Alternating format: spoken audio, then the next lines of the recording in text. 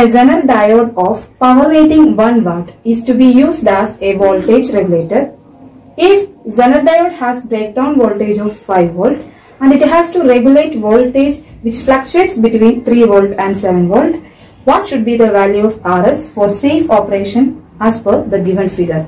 Options are 8 ohm, 10 ohm, 12 ohm, 15 ohm.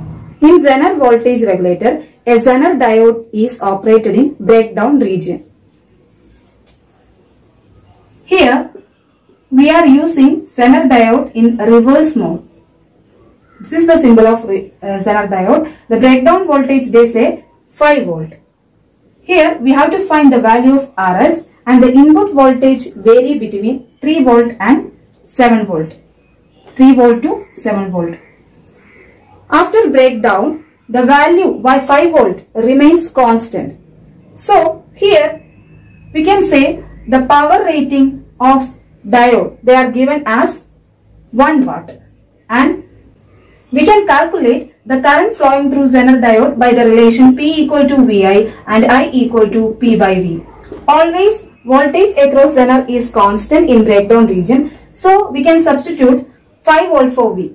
Here 1 watt divided by 5 that is 0.2 ampere. 0.2 ampere is the current flowing through Zener diode.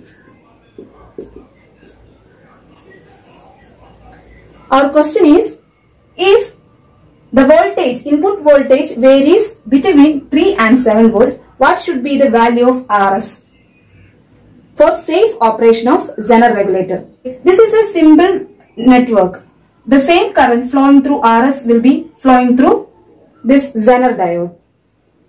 The value of I that is equal to 0.2 ampere that's equal to the input voltage minus Zener voltage divided by RS. Maximum voltage is 7 volt. 7 minus, here this voltage is appear here. So 7 minus 5 divided by RS.